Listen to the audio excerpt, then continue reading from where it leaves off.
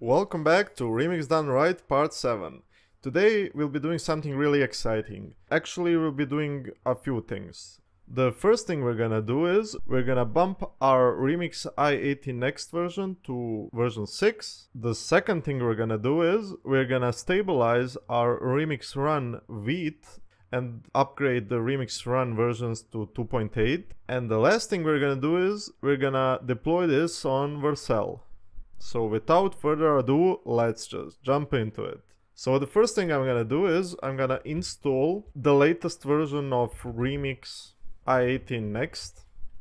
So I'm gonna add latest because I need to up the major version. And as you can see, it's now version 6.0.1 and this is going to be pretty simple. So first thing we need to do is we're gonna go to i18 server and this is located in our localization i18n.server.ts and here we're just gonna change this to be server. So we're gonna import from this subpath. And then we're gonna go to the entry client. And as you can see this is also complaining. So that we will change this to the client. So this is in our entry.client and the last thing we need to do is here in the use change language we're just gonna change this to be react. And that's it. If you remember we added this in in our last tutorial, so we're just gonna remove this. We don't need it for now, and we're gonna save it. And that's pretty much it. So if I run this now, and if I switch to my browser, you can see that we, again, have our translations working, and this is with version 6.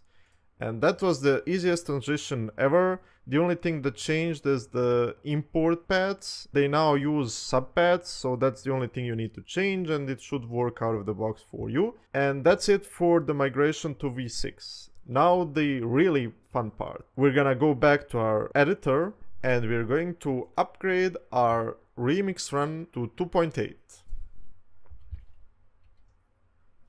And now if I save this and I cancel this and then I run npm install and now that it finished installing and I'm an old man, I'm going to clear the console. And then we're gonna go back to our Vite config. And as you can see, this is complaining. And what we're gonna do is we're gonna change unstable Vite plugin to Vite plugin. And that's it. We've just upgraded our unstable Vite project to a stable one. And this is how it feels to work with Remix. You just remove the unstable flag and it works out of the box.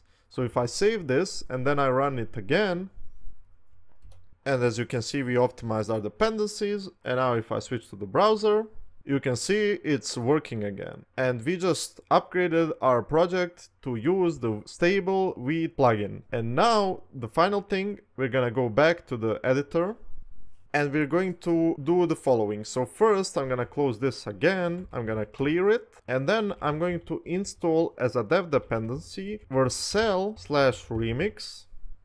And now that it's installed, I'm going to import it with vercel preset from vercel slash remix slash vite. And now that I've imported it, here in our remix config, we're gonna say presets we're gonna open this up and just call the Vercel preset. And we're gonna save this.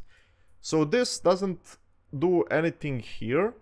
But when we deploy it on Vercel, Vercel is going to use this preset to configure the remix plugin and what it's gonna do is it's gonna adapt it to what Vercel wants to deploy for you so it's going to split up the remix routes into smaller chunks and then it's gonna deploy it for you. So now if I save this and if I and if I push it so I'm gonna say stabilized remix Vite version plus vercel deployment and then I push this to the repository and now I'm gonna clear this again. So we're gonna go back to our browser.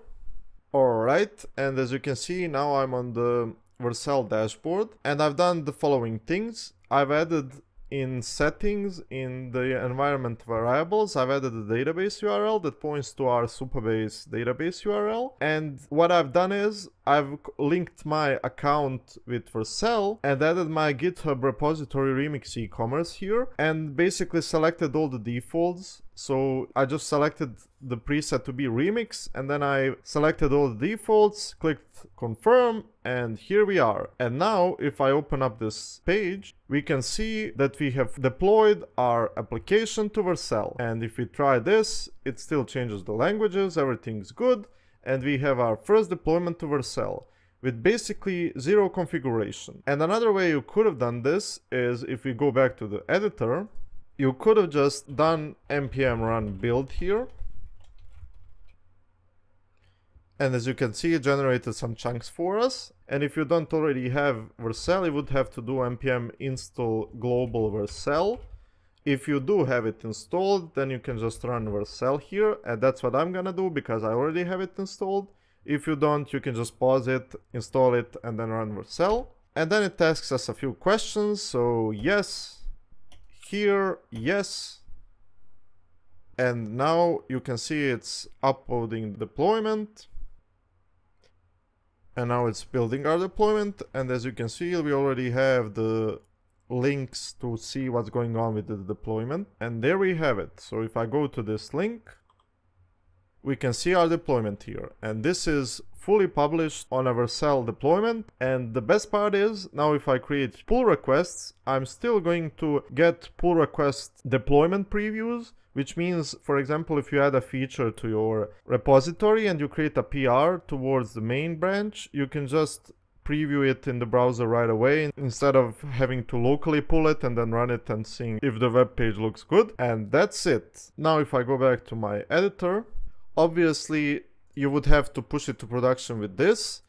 And if you had a production environment, you would probably have to set the domain as well on your Vercel page. But after you do the domain setup, you can deploy the main branch to production. Later on, we will also add GitHub action checks to our PRs to make sure that the tests and linters and everything passes before we can merge the PR. But for now, whenever you merge a PR onto the main branch, you get a new build deployment. And the last thing, so let's say you wanted to deploy this to Cloudflare, you would just have to import the Cloudflare preset from the correct package insert it here instead of the Vercel one and you would be able to deploy this application to Cloudflare.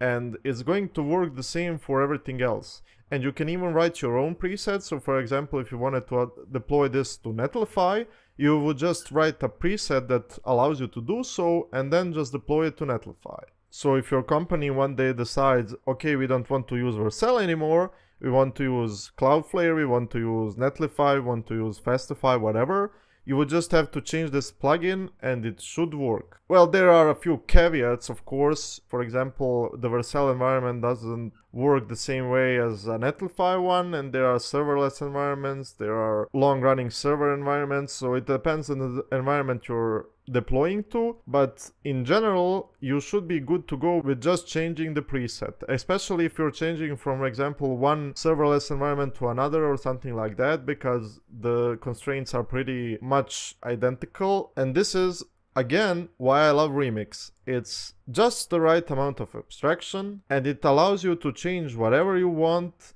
with a few lines of code in your project and you're ready to deploy it to wherever you want. And that's it for today.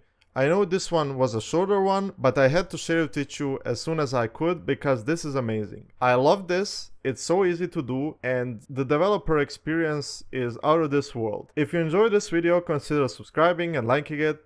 You can find the, the deployment link in the description. I'll also link the repository so you can have it as a reference. If you have any questions, feel free to comment them down below. If you like these kind of series, feel free to follow me because I'm doing a series where we build Remix e-commerce app and this is a part of it. And that's it. Thank you for watching and see you in the next one.